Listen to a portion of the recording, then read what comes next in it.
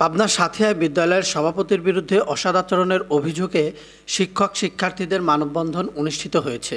আজ সোমবার দুপুরে সাথিয়া পাইলট বালিকা উচ্চ বিদ্যালয়ের সামনে এই মানববন্ধনে বক্তব্য দেন বিদ্যালয়ের অধ্যক্ষ আজিবুর রহমান লিটন, সহকারী প্রধান শিক্ষক আইনুল হক, শিক্ষার্থী মুক্তা সহ আরও অনেকে।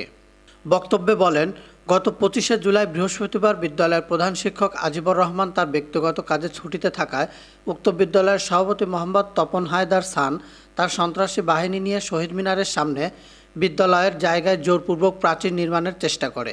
এ সময় অত্র বিদ্যালয়ের সহকারী প্রধান শিক্ষক এবং অন্যান্য শিক্ষক কর্মচারী সেখানে উপস্থিত হয়ে প্রধান শিক্ষকের উপস্থিতিতে কাজ না করার অনুরোধ করলে তিনি ক্ষিপ্ত হয়ে প্রধান শিক্ষক ও সহকারী প্রধান শিক্ষকগণকে আপত্তি গালিগালাজ করেন। তিনি প্রধান শিক্ষককে যেখানে পাবে সেখানে মারার হুমকি দেন এবং তিনি বিদ্যালয়ের প্রধান গেট ভেঙে ফেলারও হুমকি দেন। শহীদ মিনারের উপরে বসে প্রকাশ্যে ধূমপান করেন তিনি। এতে উপস্থিত শিক্ষকরা ভয় পেয়ে যান। তার সাথে কথা বলার সাহস না পেয়ে নীরবতা পালন করে স্থান ত্যাগ করেন। এ ঘটনায় তীব্র নিন্দা ও সন্ত্রাসীদের গ্রেপ্তার করে দৃষ্টান্তমূলক শাস্তির দাবি করেন তারা। তপন হায়দার সান, সে অকথ্য ভাষায় মাবুন তুলে গালিগালাজ করে এবং আমাকে যেখানে পাবে সেখানে মারধর করবে এবং কার সাহস আছে আমার শিক্ষকদের যেখানে পাবে সেখানে মারধর করবে। এই কথা বলে সে হুমকি দুমকি দিয়ে কাজ করা শুরু করে এবং সে শহীদ মিনারের উপর বসে ঘণ্টার পর মানে মিনিটের পর মিনিট সিগারেট খাচ্ছিল এবং এই রকম সে উগ্রপনা বক্তব্য দিচ্ছিল।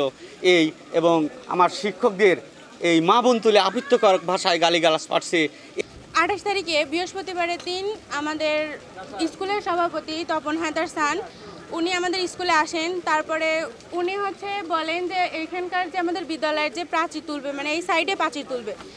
তখন আমাদের সহকারী প্রধান শিক্ষক আরও অনেকে স্যার বলেন যে আমাদের স্কুলের প্রধান শিক্ষক, উনি ব্যক্তিগত কাজে ছুটিতে আছে তো উনিরা বলে যে ব্যক্তিগত কাজে ছুটিতে আছে তো আমরা কি করব? তখন উনিরা বলে যে উনি এলে তারপর ওনার উপস্থিতিতে কাজ করলে আমাদের সুবিধা হয়।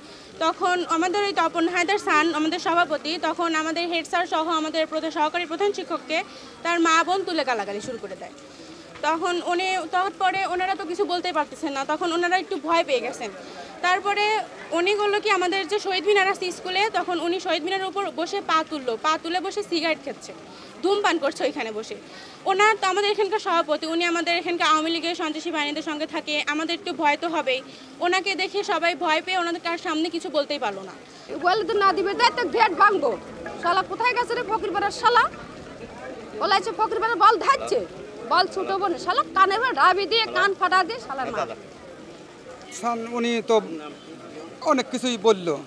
বলার পরে আমি আর কিছু বললাম না। যে না, সেটা বড় বড় করে মাথা বড় বড় বুঝবেনি। আমরা স্যারের কাছে স্যাররা ছিল। স্যাররা শুনেছে।